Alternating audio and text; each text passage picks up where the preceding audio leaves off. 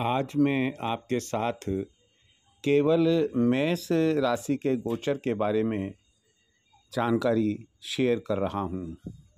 जैसा कि अभी इन महीनों में देखने में आ रहा है कि मेष राशि के जातक बेहद परेशान हैं। स्वाभाविक है कि कुछ ग्रह गोचर ऐसे उनके अन्यथा घरों में बैठे हुए हैं, भावों में बैठे हुए हैं कि शिवाय दुख और संकट के उनके नसीब में कुछ भी नहीं लिखा हुआ है। अब सवाल यह है कि ऐसी स्थिति में इंसान करे तो क्या करे? तो ये जो इंसान शब्द मैं काम में ले रहा हूँ, ये मेष राशि वालों के लिए ले रहा हूँ तो मेष राशि वाले कभी भी किसी भी वक्त किसी भी बड़े हादसे का शिकार हो सकते हैं। प्रॉपर्टी से संबंधित, माता से संबंधित, सुख सुविधाओं से संबंधित वो पिछले कई महीनों से वैसे ही दुख पा रहे हैं, बेहद संकट में हैं। खर्चों पर उनका कोई नियंत्रण बन ही नहीं रहा है और ऋण यानी कि लोन वगैरह है तो अब आपको क्या हम बताएँ कि पीछा ही नहीं छोड़ रहे हैं। जो पहले के लिए हुए ऋण हैं लोन हैं, वे ही उतरने का नाम नहीं ले रहे हैं और नए तैयार बैठे हुए हैं। किसी भी समय कोई हादसा जीवन से संबंधित भी हो सकता है। इसलिए मैं मेष राशि के जातकों को आगाह करना चाहूँगा कि वे कम से कम मई 2025 तक किसी भी प्रकार का कोई नया कार्य प्रारंभ करने की कोशिश ना करे, कोई जोखिम भरी बात वो स्वीकार ना करे, फूंक फूंक कर कदम रखे, किसी के ऊपर भी विश्वास नहीं करे और अपने कर्म से कभी ना हटे। साथ ही साथ मैं यह भी कहना चाहूँगा कि अगर आपको इन दुख और संकट से निजात पाना है तो ध्यान रखिए कि अपने ईमान को खराब ना होने दे। आप बुज़ुर्गों की इज़्ज़त करें, भिखारियों को रोटी खिलाए, बिस्किट दे। हर मंगलवार, शनिवार को आप हनुमान जी के मंदिर जाकर गुड़ चने का भोग लगाएँ।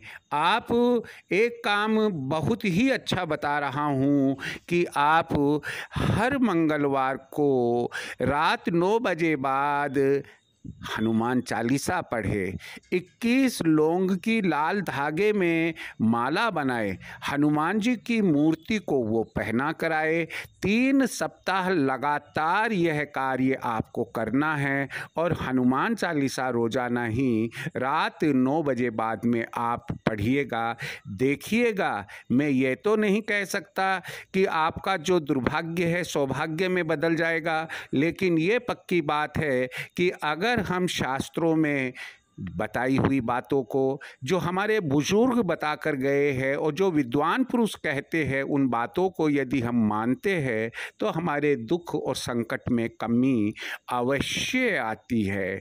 हर शनिवार को आप थोड़ा सा कोयला नदी में प्रवाहित करें। आजकल नदी ढूंढना बड़ा मुश्किल हो रहा है तो नाली में प्रवाहित कर दे।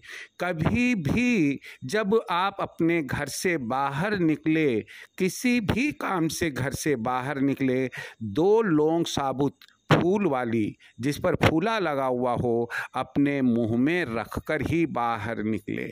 जहाँ पर आपको नीम का वृक्ष दिख जाए, आप उन्हें प्रणाम करें, नमस्कार करें, हो सके तो उसे सींचने की, यानी कि प्रातःकाल जल सींचे और सायकाल दीपक लगाए। ना केवल सायकाल घी का दीपक लगाए, बल्कि मंगलवार को आप चमेली के तेल का दीपक लगाएँ और शनिवार को सरसों के तेल का दीपक लगाए।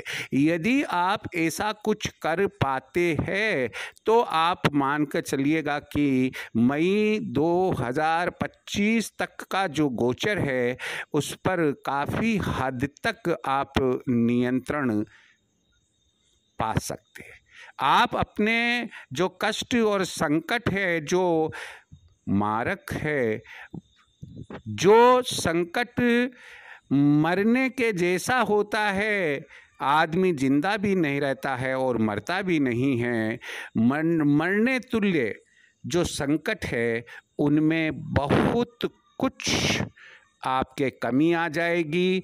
आप थोड़ा ऐसा महसूस करेंगे कि हाँ कोई मुझे राहत मिली है।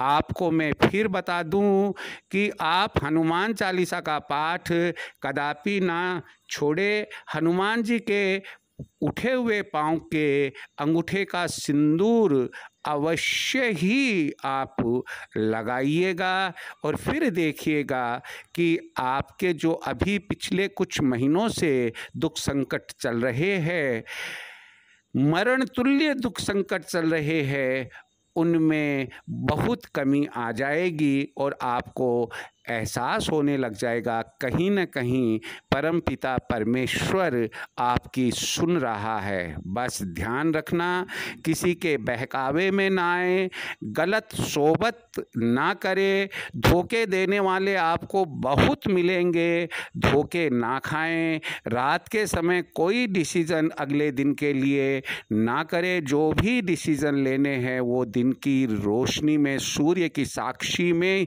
ही ले। और अपने ईमान पर रहे।